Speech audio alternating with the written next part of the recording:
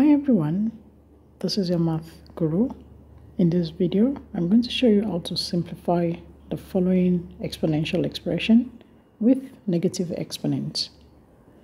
Please don't forget to click on the like and the subscribe button below for more easy to understand math concept. In this example, we have in a bracket 6 to the power of negative 1 plus bracket 3 divided by 2 close bracket raised to the power of negative 1 and then all the expression is being raised to the power of negative 1. Before I attend to the negative 1 outside the bracket, I'm going to start with the inner bracket. And the law of exponent states that if I have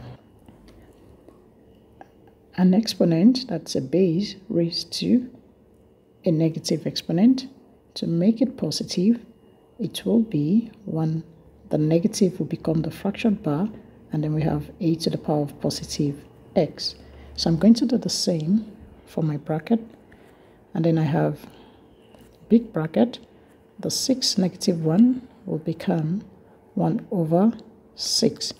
Note that the power is 1, there's an invisible 1 as shown. Then I have plus the 3 over 2 will be 1 divided by that negative becoming the fraction bar. Then I have 3 divided by 2. Close bracket. I still have my negative 1 outside.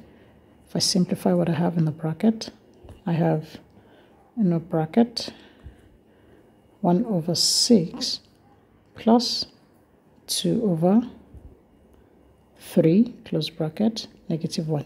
What I've done is, if I have 1 divided by 3 over 2, applying the fraction law, it will be, I retain my left hand side, the division sign becomes multiplication, and then I flipped the right hand side, which is 2 over 3.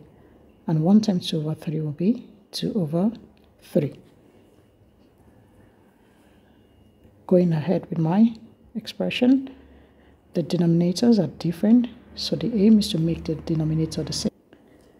The LCD in this case, that's my lowest common denominator, is 6. So I'm going to multiply my left-hand fraction by 2 to make the denominator 6. Whatever you do at the top, you do at the bottom. That becomes 1 over 6 plus 2 times 2, that's 4 over 3 times 2, 6, all to the power of negative 1.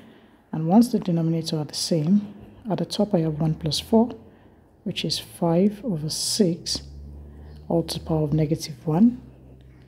That's the same as 1 divided by, I'm changing the negative power to positive. 5 divided by 6 all to the power of 1 remains the same. And this will give me 1 divided by 5 over 6 is the same as 1 times 6 over 5 and my final answer is 6 over 5. Thanks for watching. Bye.